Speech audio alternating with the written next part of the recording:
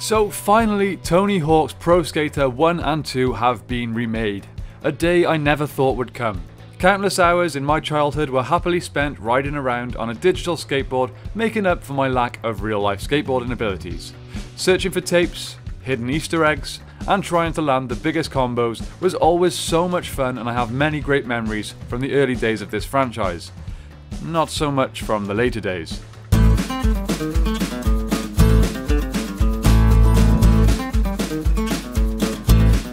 So today we thought we would put out something a little different and bring you the top 5 easter eggs from Tony Hawk's Pro Skater 1 and 2 Remake.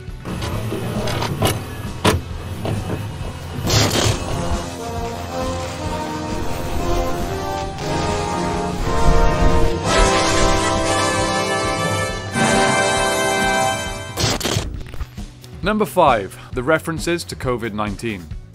Now, I don't really know how long it takes to make a video game, but I'm assuming a while, so these little easter eggs were probably added fairly close to the end of the game's development. Vicarious Visions added lots of little references to the awful pandemic that we have been going through for the last few months, including being able to add a face mask to your created character, finding a huge stock of toilet paper, and seeing the odd message about masks and social distancing throughout the game. Number 4 the tapes. One nice little addition to this release is the fact that tapes are back.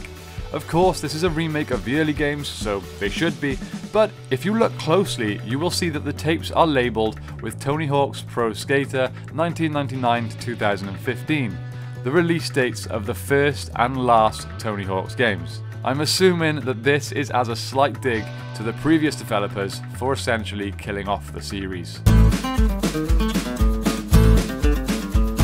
Number 3. Tony Hawk Statue. In the secret underground section of the Marseille map, we can find an awesome statue of the man himself, Tony Hawk.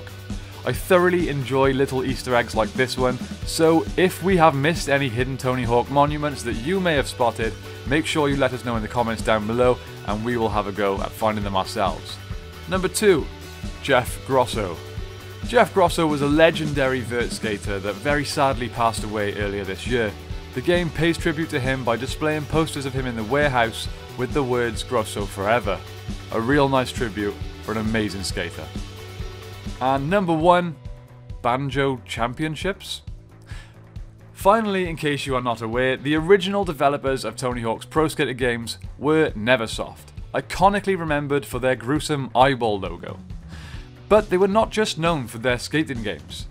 You may have heard of another franchise that they started, Guitar Hero, one of the biggest franchises of games to hit consoles over the last few decades.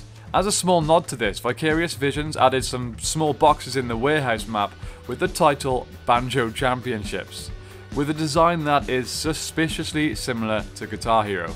In my opinion, this is a really cool little Easter egg, and uh, a great nod to a fantastic company that left us with some brilliant games. Now, if you're not aware, they were actually merged with Infinity Ward, the guys that brought us some of the Call of Duty games, so so hopefully we're still going to get some more great original games from the same developers in the future. So how do you guys feel about classic games like this being remade? I know it's a topic of controversy as many people just want new and original games to be released, but many others like to see how their favourite classics would look and feel in a modern day remake. I'm curious to know your thoughts, so leave a comment down below and let us know. And if you've picked up the Tony Hawk's remake, what do you think? Thanks so much for taking the time to watch our video. If you enjoyed it, please feel free to subscribe and leave a like, it would really help us out. I hope you all have a great day and I will see you next time on XPlore.